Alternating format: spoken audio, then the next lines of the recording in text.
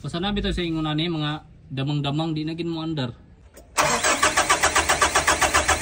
Whoop. On. Off. On. Off. So wala, hindi talaga gumagalaw. So yun guys, ito yung unit natin. Mazda Bungo RF engine. So fully electronic. Ang problema dito, kita natin na binahaya na siya ng mga gagamba. Medyo matagal-tagal na rin to na hindi na pausok ang tambutso.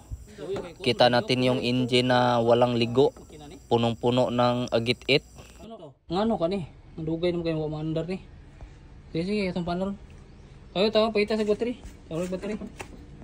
Ano battery na dad? Awa na battery, ang puya nagigdamang oh. Kasi ingon na ni bitaw nga pamuya nagdamang, ngani ba? Wala na gini, wala na pag-asa. Surrender na si Mats Mechanic na eh. Surrender ta, hindi na to makaya. Positive, negative. Patay. So, mga taruntis god. Certified electronic talaga. Bantog na dili siya mo andar ba kani man ni nakaingon oh. Basta na bitaw sa ingon ani mga damang-damang di na gin mo andar. Aw mo dahil po hinungdan. Pila na kani kaadlaw wala ka andar no? So yan.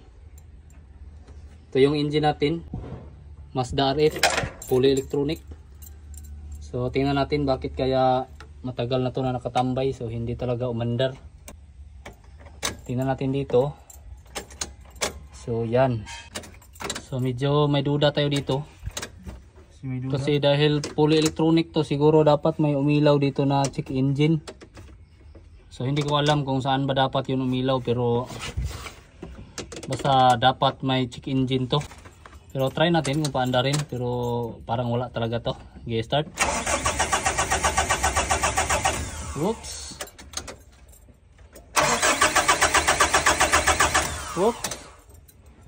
So wala yung pump natin so ayan matigas naman so posible na walang kuryente yung ah, dito sa ano natin dito dito sa engine para makasigurado tayo kung may kuryente ba na nakaabot dito sa engine o wala.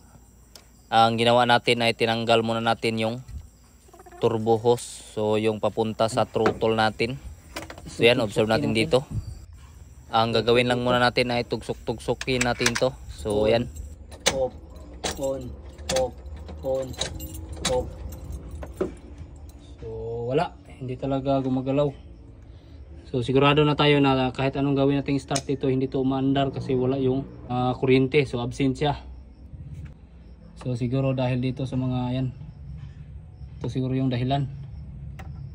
Mga spider wave Dahil sa walang kuryente yung engine natin, ang ginawa ko lang dito, chini ko lang muna tong mga fuse. So ayan, ah, ginamitan ko lang ng li-li-li style. Hindi ko na ginamitan ng mga tester. so wala gid gid mo andar so may atong kuno nga ni Bago siyo, tali na ba? unsa Siyo. isiyo sa mata Magkinilig yun yung na. Hinatulan na ng kasama ko na isiyo daw yung sira. Kani kani tanggal ah. Really na really. To kagag ka na may problema. Siyempre, ang ginawa ko lang muna ay hinatulan ko lang muna tong relay na to. So mamaya na tayo magpunta sa isiyo. Pagbigyan lang muna natin yung may-ari para hindi siya mabuslot ang bulsa. May paluti ato paliti. So dito kita natin na may surplus kami na relay. So ito lang yung ikakabit natin. Try lang natin to baka gumana to. Tanggal ka ni. Yan, ang final. Pwede na mo under gyapon. Bali pag di mo andar. Siyo, daw na. Ngayon, try na nating on yung ignition. Oh. Oo. Yon. Siga naging damang. Sigang damang. Ayon. Tumingog-tingog siya oh. Ayan.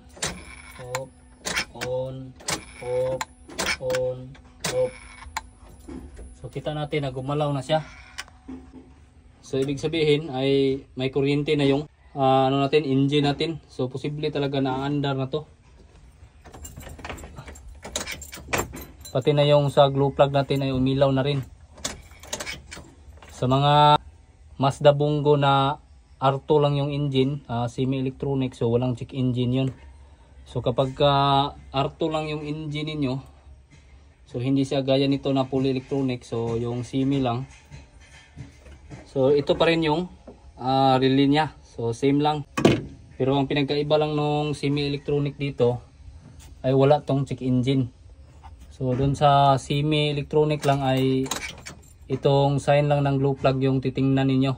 So dapat ay umilaw talaga to kapag ka naka-on kayo ng ignition para umandar siya. So gaya nito. So dahil fully siya ay pati yung ah siyempre yung check engine ay nandito siya. So hindi pa tayo sigurado pero baka umandar na talaga to. So try natin paandarin. Umandar na ba talaga?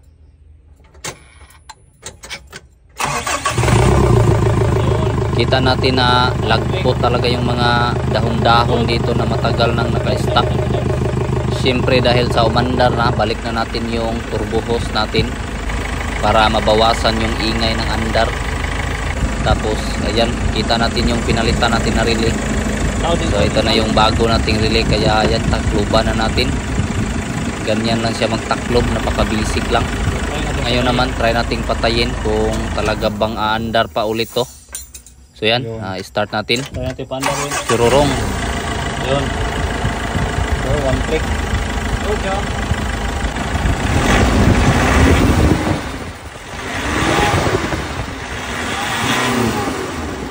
Kita natin na lagpo talaga yung mga dahon-dahon dito na binahaya ng mga ilaga-ilaga. Yun, so hanggang dito lang muna yung video natin kasi hindi pa natin to ma-road test. Check pa natin yung mga brake dito. Baka tumikalbong tayo pag nag-road test tayo.